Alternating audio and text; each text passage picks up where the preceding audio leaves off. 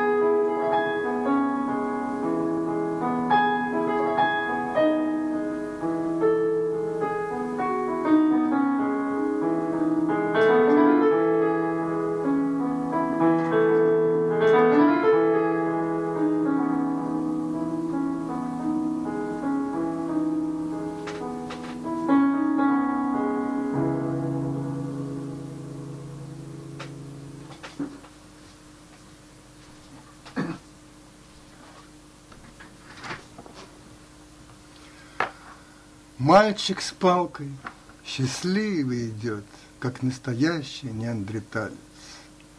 Отсюда столько счастья в походке. 26 мая день российского предпринимателя. Написано на плакате.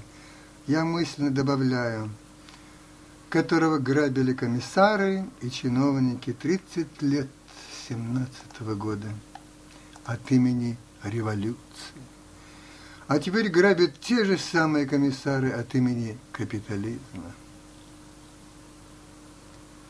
В сирене девушка в метро, распущенные волосы, и запах вспыхнул так остро, как будто громким голосом, и раздражение возникло чужие праздники вдыхать. А может в том, что вот привыкла она еще жевать, жевать. Ах, эти жвачки, все ж вульгарные и агрессивные, и бульварные.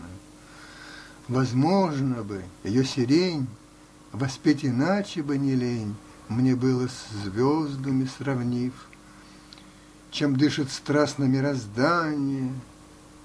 Как развивать я буду стих, я не планирую заранее. Туда, сюда, метнется мысль, я сам ведь первый наблюдатель, я им не сват и не приятель, а разве что как тамада даю ремарки. Иногда. А тему жаль, сирень, сирень. Вздремнуть хочу. Слова, как тень. Я всех развлек, и медсестре читал, и на ресепшене прекрасной секретарши, и доктор Ахмеду красиво, он сказал.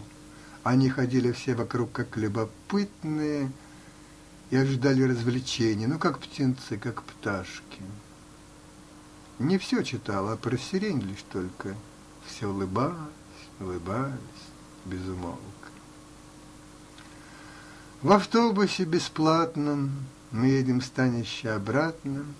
Она чего-то накупила в мегаполисе азартно. Как хорошо передохнуть, сидячие места. И помолчать, мелькнула мысль, изящна и проста. Ах, как тени хороши в автобусе, глухие, когда над нами голубеют небеса, и жарит солнце, и мягко сладостно прохладные, не ледяные ветра над городом снуют, оставив, видно, с любопытством все загородные перелески и леса. Мне показалось, женщина в метро смотрела и думала, и думала, как жаль, что я когда-то в жизни ей не встретился. Такая мысль была и в глазах, но вовсе не печаль. Нет, не учился вроде с ней я в институте. И нет, в компаниях, наверное, не сидел. Оставим эти мысли в промежутке.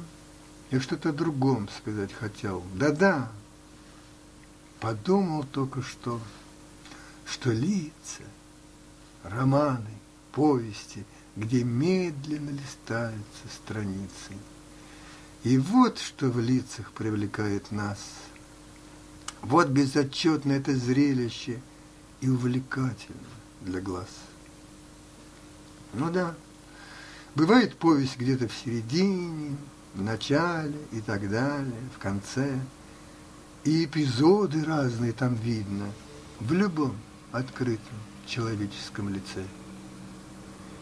И с моего лица украдкую читают, что я пишу на листике своем.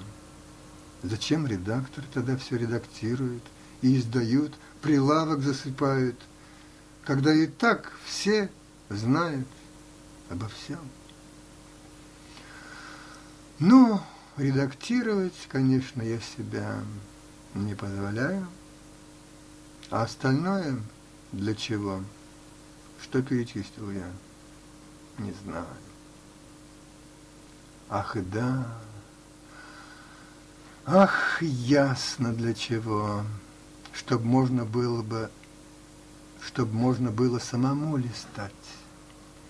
Ведь, глядя человеку на чело, листать нельзя – лишь можно наблюдать.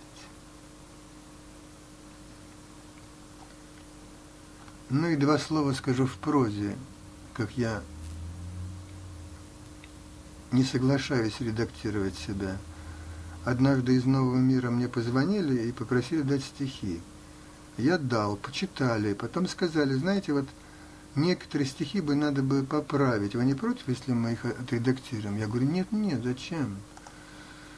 Если у вас есть сомнения, то просто опустите эти стихи, и не надо их публиковать. Потому что я рассуждал так, зачем выглядеть в глазах читателей лучше, чем я есть. Не стоит людей вводить в заблуждение.